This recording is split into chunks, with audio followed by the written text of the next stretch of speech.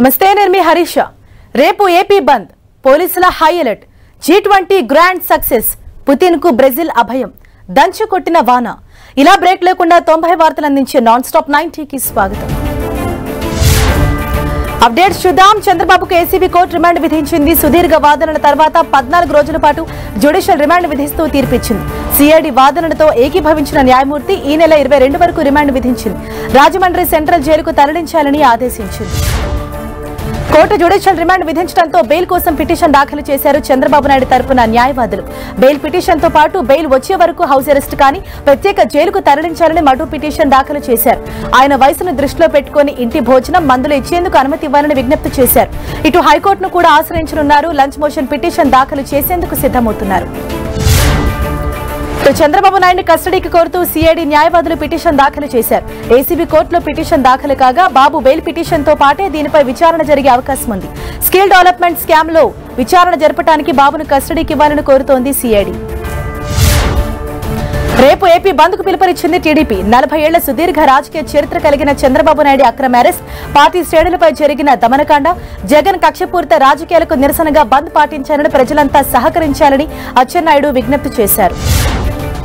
బాబు remand. రాత్రి నుంచి జరుగుతున్న పరిణామాలతో రాష్ట్ర వ్యాప్తంగా పోలీసులు అప్రమత్తమయ్యారు. ఎలాంటి అవాంఛనీయ సంఘటనలు జరగకుండా చర్యలు చేపట్టారు. దీనికి సంబంధించిన అన్ని జిల్లాల ఎస్పీలకు పోలీస్ శాఖ స్పష్టమైన ఆదేశాలు ఇచ్చింది. ఎవరూ రోడ్లపైకి వచ్చి నిరసన చేపట్టకుండా అవసరమైన చోట వన్ సెక్షన్ అమలు చేయాలని సూచించింది. చంద్రబాబుకి తన మద్దతు ఎప్పటికీ ఉంటుందన్నారు జనసేన అధినేత పవన్ కళ్యాణ్. విశాఖలో తనపై దాడి జరిగినప్పుడు బాబు మద్దతు తెలిపారని గుర్తు చేశారు. ప్రభుత్వం చేస్తున్న పనులకు ప్రతిపక్షాల బలం పెరిగిందన్నారు. జీ ట్వంటీ విజయాన్ని డైవర్ట్ చేయడానికి అరెస్టు చేసినట్లుందని ఆరోపించారు. దీనిపై కేంద్రానికి ఫిర్యాదు చేస్తానన్నారు. తనలాంటి వాడికే ఇలాంటి నిర్బంధం ఉంటే సామాన్యుల పరిస్థితి ఏంటని ప్రశ్నించారు. పవన్ కళ్యాణ్ పై మండిపడ్డారు రాష్ట్ర ప్రభుత్వ సలహాదారు సజ్జల రామకృష్ణారెడ్డి. బాబును అరెస్టు చేస్తే అసలు పుత్రుడు లోకేష్ కంటే దత్తపుత్రుడు ఓవరాక్షన్ చేశాడంటూ ఆగ్రహం వ్యక్తం చేశారు. తప్పుకు తలదించుకోవాల్సింది పోయి శాంతి భద్రతలకు విఘాతం కలిగించేలా లోకేష్ పవన్ కళ్యాణ్ వ్యవహరించారని ఆరోపించారు. ఇటు చంద్రబాబు రాజకీయ జీవితం అంతా అవినీతిమయమని విమర్శించారు సజ్జల రామకృష్ణారెడ్డి. స్కిల్ డెవలప్మెంట్ స్కామ్కు దర్శకత్వం రూపకర్త అంతా చంద్రబాబే అన్నారు. ఈ స్కామ్లో చంద్రబాబు పాత్రపై పూర్తి ఆధారాలు ఉన్నాయని అన్నారు. చంద్రబాబును ఎందుకు శిక్షించకూడదని ప్రశ్నించారు వైసీపీ ఎంపీ విజయసాయిరెడ్డి. ఏపీలో వ్యవస్థీకృత అవినీతి మనీ లాండరింగ్ దోపిడీల రావణాసుర చరిత్రకు ముగింపు పలకాలి అని పిలుపునిచ్చారు. చంద్రబాబు హయాంలో అనేక అక్రమాలు జరిగాయని ఆరోపించారు. జనసేన అధినేత పవన్ కళ్యాణ్ పై మంత్రి అమ్మటి రాంబాబు సెటైర్ వేశారు. చంద్రబాబుకు సంఘీభావం తెలిపేందుకు వెళ్తున్న క్రమంలో పోలీసులు పవన్ను అడ్డుకున్నారు. దీంతో ఆయన రోడ్డుపై పడుకొని నిరసన తెలిపారు. ఈ ఫోటోను షేర్ చేసిన అమ్మటి రాంబాబు అవినీతి బాబుని అరెస్టు చేస్తే నీకు ఇదేమి కర్మ బ్రో అని వ్యంగ్యంగా కామెంట్ చేశారు. చంద్రబాబుకు రిమాండ్ విధించడంతో నగరిలో మంత్రి రోజా సంబరాలు చేసుకున్నారు. బాడాసంచా పేల్చి స్వీట్లు పంచిపెట్టారు. చంద్రబాబు పాపాలు పండాయని అన్నారు. కల్మషం లేని నేతగా ప్రచారం చేసుకున్న చంద్రబాబు నాయుడు నిజ స్వరూపం బట్టబయలైందన్నారు. మిగిలిన కుంభకోణాల్లోనూ ఆయనకు శిక్ష తప్పదన్నారు. దివంగత ఎన్టీఆర్ ఆత్మకు ఇప్పుడు శాంతి చేకూరుతుందన్నారు. ఎన్టీఆర్ ఆత్మ శాంతించిన రోజు ఇవాళ అన్నారు మాజీ మంత్రి కొడాలి నాని. తనను ఎవరూ ఏమీ చేయలేరని అనుకుంటున్న చంద్రబాబు అహంకారానికి కోర్టు తీర్పు చెప్పపెట్టు లాంటిదన్నారు. డెబ్బై నాలుగేళ్ళ వయసులో ఎన్టీఆర్ను క్షోభపెట్టిన చంద్రబాబు అదే వయసులో జైలుకెళ్తున్నాడని అన్నారు. చంద్రబాబు అరెస్టు తర్వాత ఆయన అసలు పుత్రుడు కంటే దత్తపుత్రుడే హంగామా సృష్టించారని పవన్ కళ్యాణ్ విమర్శించారు మాజీ మంత్రి అనిల్ కుమార్. అవినీతి జరుగుతోందంటే పట్టించుకోని ఏపీ బీజేపీ అధ్యక్షురాలు చంద్రబాబు అరెస్ట్ అవ్వగానే స్పందించారని ఎద్దేవా చేశారు. పురంధేశ్వరి ప్రజల పక్షమా లేదా ఫ్యామిలీ పక్షమా అని నిలదీశారు. చంద్రబాబు అవినీతి అనకుండా అంటూ ఆరోపించారు. టీడీపీ అధినేత చంద్రబాబుపై వైసీపీ ప్రభుత్వానికి ఎలాంటి కక్ష లేదన్నారు టీటీడీ మాజీ చైర్మన్ వైవి సుబ్బారెడ్డి. స్కిల్ డెవలప్మెంట్కి కేటాయించిన నిధులను చంద్రబాబు పక్కదారి పట్టించారని ఆరోపించారు. అన్ని ఆధారాలతోనే చంద్రబాబు అరెస్టు జరిగిందని చట్టం ముందు అందరూ సమానమే అన్నారు. టీడీపీ అధినేత చంద్రబాబు అరెస్ట్ పై ఆ పార్టీ నేత అచ్చెన్నాయుడు ఏపీ మంత్రులకు వార్నింగ్ ఇచ్చారు. అన్యాయంగా కేసులు పెట్టి చంద్రబాబును ఇరికించారని ఆగ్రహం వ్యక్తం చేశారు. ఈ కేసు రాజకీయ కక్ష తప్ప మరొకటి కాదన్నారు. రాష్ట్రంలో చట్టం ధర్మం లేదన్నారు. చంద్రబాబుకు కానీ తనకు కానీ తమ కుటుంబాలకు కానీ పైసా లబ్ధి చేకున్నట్లు నిరూపిస్తే పీక కోసుకుంటానని సవాల్ విసిరారు. చంద్రబాబును జైలుకు పంపించిన ప్రజాస్వామ్యానికి గొడ్డలు పెట్టలాంటిదని టీడీపీ నేత ధూళిపాడ నరేంద్ర అన్నారు. వైసీపీ అరాచకాలను ప్రజలు గమనిస్తున్నారని ప్రజలే బుద్ధి చెబుతారన్నారు. స్కిల్ డెవలప్మెంట్ కేసులో పసలేదని టీడీపీ ఎంపీ కేశినేని నాని అన్నారు. చంద్రబాబుకి ఈ కేసుతో ఎలాంటి సంబంధం లేదని చెప్పారు. ప్రభుత్వం కక్ష సాధింపు చర్యలకు పాల్పడుతోందని ఆరోపించారు. చంద్రబాబును అన్యాయంగా అరెస్ట్ చేశారని మాజీ మంత్రి గంటా శ్రీనివాస్ ఆరోపించారు. ఏసీబీ కేసులో బాబు కడిగిన ముత్యంలో బయటకు వస్తారని చెప్పారు. స్కిల్ డెవలప్మెంట్ విద్యాశాఖలో లేదన్న గంటా వైసీపీ మంత్రులకు అవగాహన లేకనే తన పేరు ప్రస్తావించారని తెలిపారు. విపక్ష నేతల నుంచి కూడా బాబుకు మద్దతు లభించింది. ఎఫ్ఐఆర్ల పేరు లేనప్పుడు చంద్రబాబును ఎలా అరెస్టు చేస్తారని బీజేపీ నాయకులు గరికపాటి మోహన్ రావు ప్రశ్నించారు. చంద్రబాబు పట్ల ఏపీ సర్కార్ దారుణంగా వ్యవహరిస్తోందని అన్నారు. చంద్రబాబు అరెస్టుపై కీలక వ్యాఖ్యలు చేశారు సిపిఐ జాతీయ కార్యదర్శి నారాయణ. పద్నాలుగేళ్ళు సీఎంగా పనిచేసిన చంద్రబాబును అర్ధరాత్రి అరెస్ట్ చేయడం అప్రజాస్వామికమని అన్నారు. కేంద్ర హోంమంత్రి అమిత్ షా అనుమతి లేకుండా చంద్రబాబు అరెస్టుకు అవకాశం లేదని స్పష్టం చేశారు. చంద్రబాబు ఇప్పటికైనా బీజేపీ కుటిల నీతిని తెలుసుకోవాలన్నారు. చంద్రబాబు అరెస్టును ఖండించారు సిపిఐ రాష్ట్ర కార్యదర్శి రామకృష్ణ. చంద్రబాబును అరెస్ట్ చేసిన విధానం బాగాలేదన్నారు. సీఎం జగన్ కుట్రపూరితంగా వ్యవహరించారని కేంద్ర ప్రభుత్వ సహకారం ఉందని ఆరోపించారు. జీ సమావేశాలు జరుగుతుండటంతో ప్రపంచ నేతల ముందు చంద్రబాబుని అవమానించేలా ఈ అరెస్టు జరిగిందన్నారు.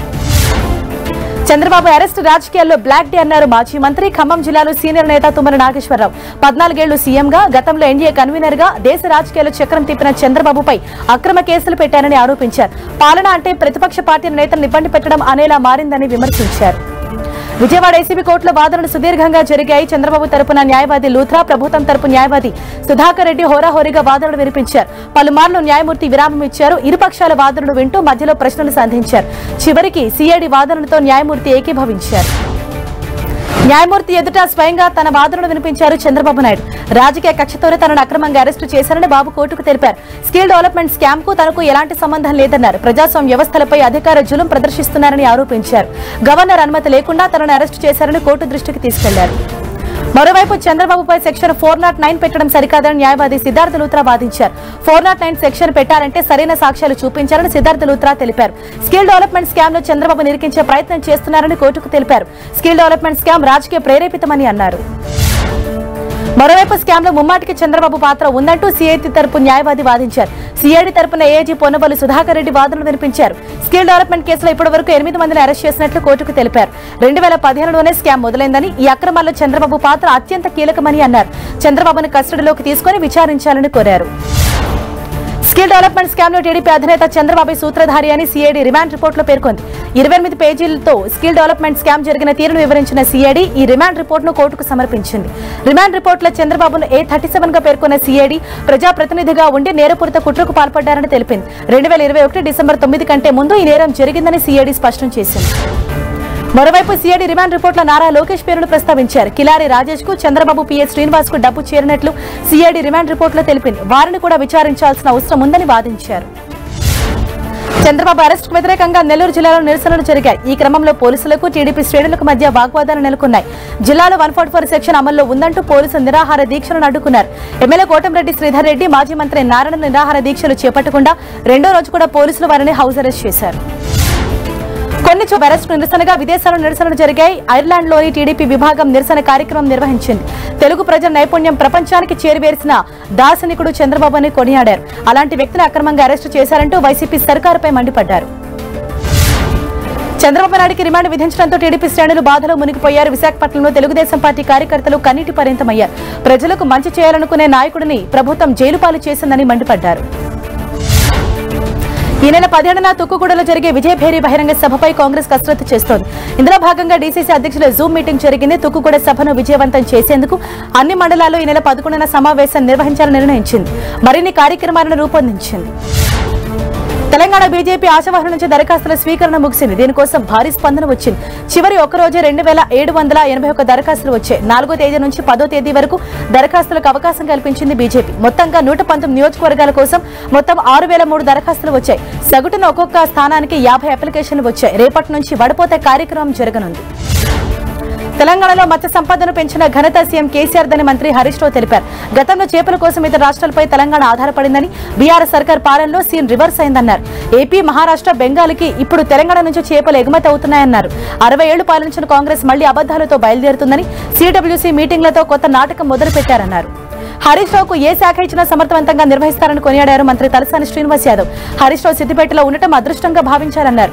సిద్దిపేటలో అద్భుతమైన అభివృద్ధి జరిగిందన్నారు. హైదరాబాద్లోని భూములకు ఉన్న ధర కూడా సిద్దిపేట భూములకు ఉన్నాయన్నారు ఇక రాష్ట్రంలో నీరు ఎక్కడుంటే అక్కడ మత్స్య సంపద ఉండాలనేది సీఎం కేసీఆర్ లక్ష్యమన్నారు. హైదరాబాద్లోని జేఎన్ఎన్యూఆర్ఎం బాంబే ఇళ్ళ మరమ్మతులకు వంద కోట్ల రూపాయలు కేటాయించినట్లు తెలంగాణ పురపాలక శాఖ మంత్రి కేటీఆర్ తెలిపారు. హెచ్ఎండీఏ సమకూర్చిన ఈ నిధులతో జీహెచ్ఎంసీ మరమ్మతులు చేపట్టనున్నట్లు తెలిపారు. నగరంలోని జంగంమెట్ బండ్లగూడతో పాటు పలు ప్రాంతాల్లో జీహెచ్ఎంసీ ఇంజనీరింగ్ సిబ్బంది మరమ్మతులు పూర్తి చేస్తారని చెప్పారు. బీఆర్ఎస్ పార్టీని మించిన దగాకోరు పార్టీ కాంగ్రెస్ అని విమర్శించారు బీజేపీ నేత ఇంద్రసేనారెడ్డి. పరేడ్ గ్రౌండ్ కోసం కాంగ్రెస్ పార్టీ ఎలాంటి అప్లికేషన్ పెట్టలేదని ఆధారాలు ఉంటే బయటపెట్టాలని డిమాండ్ చేశారు. బీజేపీకి బీఆర్ఎస్కి ఎలాంటి సంబంధం లేదని అలా ఎవరూ మాట్లాడొద్దు అన్నారు.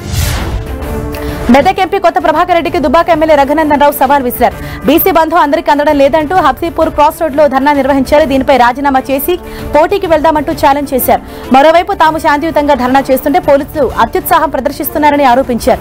భూంపల్లి దుబాక ఎస్ఐల మీద చర్యలు తీసుకోవాలని డిమాండ్ చేశారు. బీఆర్ఎస్ అధినేత కేసీఆర్ చేస్తున్న అభివృద్ధిని చూసి పార్టీలోకి భారీగా చేరికలు జరుగుతున్నాయని మంత్రి మల్లారెడ్డి తెలిపారు.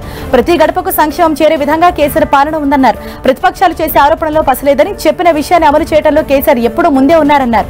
మేడ్చల్లో బీఆర్ఎస్లో చేరిన వారిని మంత్రి మల్లారెడ్డి అభినందించారు. జనగాం ఎమ్మెల్యే ముత్తిరెడ్డి యాదగిరి రెడ్డి మరోసారి ఆసక్తికర కామెంట్ చేశారు. కేసీఆర్ చేసే అభివృద్ధి పనులను తామే చేస్తున్నామని ప్రచారం చేస్తూ కొంతమంది చంకలు గుద్దుకుంటున్నారని ఎమ్మెల్సీ పల్లాను ఉద్దేశించి పరోక్షంగా విమర్శించారు. ఎమ్మెల్సీ పల్లా రాజేశ్వరరెడ్డి జనగాం టికెట్ తనకే అంటూ తప్పుడు ప్రచారం చేస్తున్నారని ఆరోపించారు. తిరుమల పవిత్రతను కాపాడాలని ఏపీ సీఎం జగన్ టీటీడీకి విజ్ఞప్తి చేశారు బీఆర్ఎస్ ఎంపీ జోగినిపల్లి సంతోష్ కుమార్. ఇవాళ తిరుమల శ్రీవారిని దర్శించుకున్న ఆయన తిరుమల కొండను రాజకీయాలకు వాడుకోవటం బాధాకరమన్నారు. కొండపై రాజకీయ విమర్శలు చేయకుండా కఠిన చర్యలు తీసుకోవాలని ఏపీ ప్రభుత్వాన్ని టీటీడీని కోరారు. భారత అధ్యక్షతన ప్రతిష్టాత్మకంగా జరిగిన జీ ట్వంటీ శిఖరాగ్ర సదస్సు ముగిసింది. రెండు రోజుల పాటు జరిగిన ఈ సమావేశంలో భారత్ విజయవంతంగా నిర్వహించింది. సమావేశాల తొలి రోజునే ప్రధాని ప్రతిపాదించిన ఢిల్లీ డిక్లరేషన్ విషయంలో భాగస్వామ్య దేశాల ఏకాభిప్రాయం సాధించగలిగింది. ముగింపు సందర్భంగా ప్రధాని ప్రతిపాదించిన వన్ ఎర్త్ నేషన్ పై సభ్య దేశాలు హర్షం వ్యక్తం చేశాయి. దాదాపు రెండు వందల గంటల పాటు నిరంతర చర్చలు జరిపినట్లు అధికారులు తెలిపారు. మూడు వందల ద్వైపాక్షిక సమావేశాలు జరిగే వివాదాస్పద యుక్రెయిన్ అంశంపై ఇతర దేశాలను తమ సహచరులతో పదిహేను ముసాయిదాలను పంచుకున్నారు. జీ ట్వంటీ కూటమి అధ్యక్ష హోదాలో భారత్ పెద్ద విజయాన్ని నమోదు చేసిందని శర్బా అమితాబ్ ఖాన్ తెలిపారు. జీ ట్వంటీ సదస్సు ముగింపు నేపథ్యంలో ప్రధాని మోదీ కీలక సూచన చేశారు. సదస్సులో చేసిన సిఫార్సులు తీర్మానాలను అంచనా వేయడానికి నవంబర్లో వర్చువల్ సమావేశం నిర్వహించాలని దేశాధినేతలకు సూచించారు. నవంబర్ ముప్పై వరకు జీ ట్వంటీకి భారత నాయకత్వమే కొనసాగుతుందని మోదీ ప్రకటించారు. ఐక్యరాజ్య సమితితో పాటు పలు అంతర్జాతీయ సంస్థల మార్పులు అవసరమని ప్రధాని మోదీ అభిప్రాయపడ్డారు. సభ్య దేశాల సంఖ్య పెరుగుతుండటంతో ఐక్యరాజ్య సమితి భద్రతా మండలిలో శాశ్వత సభ్య దేశాల సంఖ్య మారటం లేదన్నారు. యాభై ఒక్క దేశాలతో ఐక్యరాజ్య సమితి ఏర్పడితే ప్రస్తుతం సభ్య దేశాల సంఖ్య రెండు వందలకు చేరిందని గుర్తు చేశారు. సదస్సు ముగింపు అనంతరం ప్రధాని మోదీ దేశాధినేతలతో ద్వైపాక్షిక చర్చలు జరిపారు. ఫ్రాన్స్ అధ్యక్షుడు మ్యాక్రోన్తో పాటు కెనడా నేతలతో మోదీ సమావేశమయ్యారు. అనంతరం కొమరోస్ టర్కీ యూఏఈ దక్షిణ Korea European Union Brazil Nigeria అధినేతలతో చర్చించి పలు కీలక రంగాలపై భారత్ ఒప్పందం చేసుకుంది. జీ ట్వంటీ వేదికగా చైనాకు చెక్ పెట్టింది భారత్. చైనా తలపెట్టిన బెల్ట్ రోడ్ ఇనిషియేటివ్కు కౌంటర్గా Bharat middle east Europe economic corridor కోసం అవగాహన పత్రంపై సంతకాలు చేశాయి. ఆర్థిక సమైక్యతను ప్రోత్సహించడం ద్వారా ఆసియా యూరప్ దేశాలను అనుసంధానం చేయడమే లక్ష్యంగా ఈ ఒప్పందం జరిగింది. ఇవాళ ఉదయం సెషన్ ప్రారంభానికి ముందు ప్రపంచ నేతలు మహాత్మా గాంధీకి నివాళి అర్పించారు. ప్రధాని నరేంద్ర మోదీ రాజ్ఘాట్కు చేరుకుని దేశాధినేతలకు ఖాదీ శాల్వాలు కప్పి స్వాగతం పలికారు. తేలికపాటి వర్షం పడినా మహాత్మా గాంధీ సమాధి వద్ద నివాళులు అర్పించి ప్రార్థనలు చేశారు. తొలిసారి ఇండియాకు వచ్చిన జో బైడెన్ జీ ట్వంటీ సమావేశాల అనంతరం వియత్నాం వెళ్ళారు. రెండు రోజుల జీ ట్వంటీ శిఖరాగ్ర సమావేశాలకు హాజరైన బైడెన్ ఇవాళ వియత్నాం బయలుదేరారు. రాజ్ఘాట్లోని మహాత్మా గాంధీ సమాధి వద్ద నివాళులు అర్పించి అక్కడి నుంచి నేరుగా విమానాశ్రయానికి చేరుకున్నారు. వియత్నాంలో ద్వైపాక్షిక సంబంధాలపై చర్చించనున్నారు. బైడెన్ కాన్వాయ్లోని ఓ డ్రైవర్ను భద్రతా దళాలు అదుపులోకి తీసుకున్నాయి. బైడెన్ కాన్వాయ్లోని కొన్ని వాహనాలు అమెరికా నుంచి రాగా మరికొన్నింటిని భారత్లోనే కేటాయించారు. వీటిలో ఒక కారు బైడెన్ బస చేసే హోటల్ వద్ద ఉండాల్సి ఉండగా యూఏఈ నేత బస చేస్తున్న హోటల్ వద్ద కనిపించింది. దీంతో అతన్ని విచారించి వదిలిపెట్టారు. జీ శిఖరాగ్ర సదస్సు కోసం ఢిల్లీకి వచ్చిన బ్రిటన్ ప్రధానమంత్రి రిషి సునాక్ దంపతులు అక్షర్ధామ ఆలయాన్ని సందర్శించారు. ఆలయంలో ప్రత్యేక పూజలు నిర్వహించారు. ఆయన రాక నేపథ్యంలో ఆలయ పరిసరాల్లో ఢిల్లీ పోలీసులు భారీ బందోబస్తు ఏర్పాట్లు చేశారు. బ్రిటన్లో ఉంటున్నా హిందువుగా తాను గర్విస్తున్నానని రిషి సునాక్ అన్నారు. హిందూ సంస్కృతిలోనే పెరిగానని తెలిపారు. తన నమ్మకాలే మానసిక ఒత్తిడి నుంచి ఉపశమనం కలిగిస్తాయని ఇటీవల రక్షాబంధన్ కూడా జరుపుకున్నట్లు వెల్లడించారు. తన చెల్లితో పాటు సమీప బంధువులు తనకు రాఖీలు కట్టినట్లు చెప్పారు. జీ ట్వంటీ సదస్సు తదుపరి అధ్యక్ష బాధ్యతను బ్రెజిల్ అధ్యక్షుడు లులాడా సల్వాకు భారత ప్రధాని నరేంద్ర మోదీ అప్పగించారు. ఈ మేరకు అధికారికంగా సుత్తి వంటి గవెల్ను ఆయన చేతికి అందించారు. అనంతరం సదస్సు తీర్మానాన్ని ప్రధాని మోదీ ప్రకటించారు. తదుపరి జీ ట్వంటీ సమ్మిట్ బ్రెజిల్లో జరగనుంది. మోదీ నుంచి బాధ్యతలు స్వీకరించిన బ్రెజిల్ అధ్యక్షుడు అందరి సహకారంతో వచ్చే ఏడాది రియోలో ఘనంగా జీ ట్వంటీ సమ్మిట్ నిర్వహిస్తామన్నారు. ప్రపంచ శాంతి కోసం కృషి చేస్తామన్నారు. బ్రెజిల్ అధ్యక్షుడు లూయిజ్ ఇనాసియో లూలా ఆసక్తికర వ్యాఖ్యలు చేశారు. రెండు వేల ఇరవై నాలుగులో జరిగే బ్రెజిల్లో జరిగే జీ ట్వంటీ సదస్సుకు రష్యా అధ్యక్షుడు హాజరు కావాలని సూచించారు. పుతిన్ తమ దేశానికి వస్తే అరెస్ట్ చేయమని ప్రకటించారు. రష్యాలో జరిగే బ్రిక్స్ సమావేశానికి కూడా తాను వెళ్ళేందుకు ప్లాన్ చేస్తున్నట్లు లూలా తెలిపారు. జీ ట్వంటీని భారత్ సమర్థవంతంగా నిర్వహించిందని సభ్య దేశాలన్నీ ప్రశంసించాయి. ఢిల్లీ డిక్లరేషన్ పై భారత్ వ్యవహరించిన తీరును ప్రశంసలతో ముంచెత్తాడు రష్యా విదేశాంగ మంత్రి సెర్గీ లావ్రోవ్. రష్యా యుక్రెయిన్ యుద్ధం అడ్డు కాకుండా సమావేశాలు బాగా నిర్వహించారని మెచ్చుకున్నారు. అయితే యుక్రెయిన్ మాత్రం ఢిల్లీ డిక్లరేషన్ పై అసంతృప్తి వ్యక్తం చేసింది. బ్రిక్స్ డిక్లరేషన్కు భిన్నంగా ఢిల్లీ డిక్లరేషన్ ఉందని అసహనం ప్రదర్శించింది. ఎక్కడా రష్యా పేరును ప్రస్తావించకపోవడం పట్ల అభ్యంతరం వ్యక్తం చేసింది. భారత్లో జీ ట్వంటీ ఫలితాలపై ఫ్రాన్స్ అధ్యక్షుడు ఇమాన్యుల్ మ్యాక్రన్ మిశ్రమ స్పందన వ్యక్తం చేశారు. రష్యాకి ఇదేమీ దౌత్య విజయం కాదని రష్యాను పక్కకు పెట్టి డిక్లరేషన్ చేసినట్లు ఆయన పేర్కొన్నారు. పర్యావరణంపై ఫలితాలు సరిపోవన్నారు. భారత్ తమ బంధం బలోపేతం చేసుకుంటామన్నారు. మరోవైపు ప్రధాని నరేంద్ర మోదీతో ఫ్రాన్స్ అధ్యక్షుడు మ్యాక్రాన్ ద్వైపాక్షిక చర్చలు జరిపారు. ఈ విషయాన్ని ఆయన స్వయంగా ఎక్స్ ట్విట్టర్లో వెల్లడించారు. భారత్ ఫ్రాన్స్ సంబంధాలను మరింత బలోపేతం చేసే దిశగా ఈ చర్చలు జరిగాయని ఆయన పేర్కొన్నారు. కెనడా ప్రధాని జస్టిస్ ట్రూడోతోనే ద్వైపాక్షిక చర్చలు జరిపారు మోదీ. ఖలిస్తాన్ అంశంతో పాటు విదేశ జోక్యంపై ఇతర నేతల మధ్య సమాలోచనలు జరిగాయి. భావ ప్రకటన స్వేచ్ఛ మనస్సాక్షి స్వేచ్ఛ మరియు శాంతియుత నిరసన స్వేచ్ఛకు కెనడా ఎప్పుడు మద్దతిస్తుందన్నారు ట్రూడో. జీ ట్వంటీ వేదిక రాజకీయ విమర్శలు ప్రతి విమర్శలు హీట్ పెంచాయి. రెండు వేల ఏడు వందల కోట్లతో అభివృద్ధి చేసిన భారత మండపంలో చిన్నపాటి వర్షానికే నీళ్ళు నిలిచిపోయాయని ప్రతిపక్షాలు విమర్శలు గుప్పించాయి. అయితే అవన్నీ తప్పుడు వార్తలని విపక్షాలు కావాలని దుష్ప్రచారం చేస్తున్నాయని అధికార పార్టీ మండిపడుతోంది. విపక్షాలు విమర్శలు గుప్పిస్తున్న సమయంలో కాంగ్రెస్ నేత శశి థరూర్ ప్రశంసలు కురిపించారు. ఢిల్లీ డిక్లరేషన్ పై సభ్య దేశాల మధ్య ఏకాభిప్రాయాన్ని సాధించేందుకు భారత్ చేసిన కృషిని కొనియాడారు. ఇది భారత్కు ఎంతో గర్వకారణమన్నారు. మన దేశం తరపున షెర్పాగా ఉన్న అమితాబ్ కాంత్ పాత్రను అభినందించారు. ఇండియా పేరు మార్పు వివాదంపై కాంగ్రెస్ నేత రాహుల్ గాంధీ కేంద్ర ప్రభుత్వంపై విమర్శలు గుప్పించారు. భారతదేశ ఆత్మపై దాడి చేస్తే తగిన మూల్యం చెల్లించుకోవాల్సి వస్తుందని హెచ్చరించారు. దేశం పేరును మార్చేందుకు ప్రయత్నిస్తున్న వారు మౌలికంగా చరిత్ర నిరాకరిస్తున్నారని వ్యాఖ్యానించారు. పశ్చిమ బెంగాల్ బీజేపీ నేత దిలీప్ ఘోష్ హాట్ కామెంట్ చేశారు. భారత్ పేరు నచ్చని వాళ్ళు దేశం విడిచి వెళ్ళిపోవాలన్నారు ఇండియా పేరును భారత్గా మార్చున్నారనే అంశంపై కొన్ని రోజులుగా దేశంలో తీవ్రంగా చర్చలు జరుగుతున్నాయి. ఈ క్రమంలోనే భారత్గా పేరు మార్చడాన్ని తప్పుపడుతున్న వారిపై పశ్చిమ బెంగాల్ బీజేపీ నేత తీవ్ర విమర్శలు చేశారు. ప్రజల గురించి ఆలోచించే పార్టీ తమదే అన్నారు కాంగ్రెస్ ప్రధాన కార్యదర్శి ప్రియాంక గాంధీ. రాజస్థాన్లో ఇందిరా గ్రామీణ రసోయి యోజన ప్రారంభోత్సవంలో పాల్గొన్నారు. ఈ సందర్భంగా రాజస్థాన్ ప్రభుత్వం చేస్తున్న కార్యక్రమాలను ప్రశంసించారు. ప్రజలకు మంచి చేయాలని సదుద్దేశంతో అశోక్ గెహ్లాట్ ప్రభుత్వం పనిచేస్తోందన్నారు. బీజేపీ జేడీఎస్ పొత్తు ఇంకా ఖరారు కాలేదని కర్ణాటక మాజీ ముఖ్యమంత్రి కుమారస్వామి చెప్పారు. తమ పార్టీలో ఎలాంటి అంతర్గత విభేదాలు లేవని అన్నారు. వచ్చే లోక్సభ ఎన్నికల్లో కాంగ్రెస్ను ఓడించడమే జేడీఎస్ లక్ష్యమని తెలిపారు. దీనికోసం ఎలాంటి చర్యలైనా తీసుకుంటామన్నారు. మేడ్చల్ జిల్లాకి హైదరాబాద్లో వర్షం దంచుకొట్టింది. నగరంలోని షేర్లింగంపల్లి కుకట్పల్లి సికింద్రాబాద్ ఖైరతాబాద్ జూబ్లీహిల్స్ బంజారాహిల్స్ పంజాగుట్టలో వర్షం కురిసింది. ఉరుముల మెరుపులతో కూడిన వర్షం పడింది. పలు చోట్ల రోడ్లపై నీరు నిలిచిపోవడంతో వాహనదారులు తీవ్ర ఇబ్బందులు పడ్డారు. వర్షం కారణంగా నగరంలో భారీగా ట్రాఫిక్ స్తంభించింది. రోడ్లపైకి వర్షపు నీరు చేరడంతో రోడ్లన్నీ జలమయమయ్యాయి. దీంతో వాహనదారులు తీవ్ర ఇబ్బందులు పడ్డారు. భారీ వర్షానికి అప్రమత్తమైన అధికారులు చర్యలు చేపట్టారు. నగరంలో కురుస్తున్న భారీ వర్షాలకు బల్దీ అప్రమత్తమైంది. హైదరాబాద్ ప్రజలు జాగ్రత్తగా ఉండాలని జీహెచ్ఎంసీ మేయర్ గద్వాల విజయలక్ష్మి సూచించారు. అటు ఎమర్జెన్సీ బృందాలు ఈవీడీఎం బృందాలు క్షేత్రస్థాయిలో అందుబాటులో ఉండాలని ఆదేశాలు జారీ చేశారు. అత్యవసర పరిస్థితుల్లో సహాయం కోసం టోల్ ఫ్రీ నంబర్లను అందుబాటులో ఉంచారు. ఆదిలాబాద్ జిల్లాలో వర్షం బీభత్సం సృష్టిస్తోంది. తలమడుగు మండలం లక్ష్మీపూర్ సమీపంలో ఉన్న వంతెన వరద ప్రవాహానికి కొట్టుకుపోయింది. దీంతో తెలంగాణ మహారాష్ట్రల మధ్య రాకపోకలకు తీవ్ర అంతరాయం ఏర్పడింది. వరద ప్రవాహం పెరగడంతో అంతరాష్ట్ర సరిహద్దులో వాహనాలు నిలిచిపోయాయి. ములుగు జిల్లాలో ఎడతెరిపి లేకుండా కురుస్తున్న వర్షాలకు రోడ్లన్నీ దెబ్బతిన్నాయి. వెంకటాపురం భద్రాచలం వెళ్ళే ప్రధాన రహదారిపై గుంతలు పడటంతో వాహనదారులు తీవ్ర ఇబ్బందులు పడుతున్నారు. వీరభద్రవరం గ్రామంలో రెండు లారీలు గుంతల కారణంగా రహదారిపై ఇరుక్కుపోయాయి. దీంతో ప్రయాణికులకు ఇబ్బందులు తప్పలేదు. తరచూ ఇలాంటి పరిస్థితి తలెత్తుతున్నాయని ప్రయాణికులు ఆవేదన వ్యక్తం చేస్తున్నారు. ఉత్తరప్రదేశ్లో భారీ వాన కురిసింది. దీంతో లోతట్టు ప్రాంతాలన్నీ జలమయమయ్యాయి. ఇటు ఐదు రాష్ట్రాలకు భారత వాతావరణ కేంద్రం అలర్ట్ జారీ చేసింది. భారీ వర్షాలు కురిసే అవకాశం ఉందని హెచ్చరించింది. ప్రజలంతా అప్రమత్తంగా ఉండాలని సూచించింది. ఉత్తరప్రదేశ్లో పడిన వర్షాలకు రైల్వే ట్రాక్లు నిండిపోయాయి. మొరాదాబాద్ రైల్వే ట్రాక్ నిండా నీళ్ళు చేరాయి దీంతో ఆ మార్గంలో రైళ్ళ రాకపోకు నిలిచిపోయాయి. సుదూర ప్రాంతాలకు వెళ్ళాల్సిన ప్రయాణికులు స్టేషన్లో పడిగాపులు కాయాల్సి వచ్చింది. అయోధ్య రామ మందిరం ప్రారంభానికి సిద్ధమవుతోంది. వచ్చేటది జనవరి ఇరవై రెండున భవ్య మందిరాన్ని ప్రారంభిస్తారని తెలుస్తోంది. గత రెండేళ్ళ నుంచి మందిర నిర్మాణ పనులు సాగుతున్నాయి. ప్రారంభోత్సవ కార్యక్రమంలో ప్రధానితో పాటు ముఖ్యమైన కొందరు మంత్రులు పాల్గొంటారని ఆ వర్గాలు తెలిపాయి.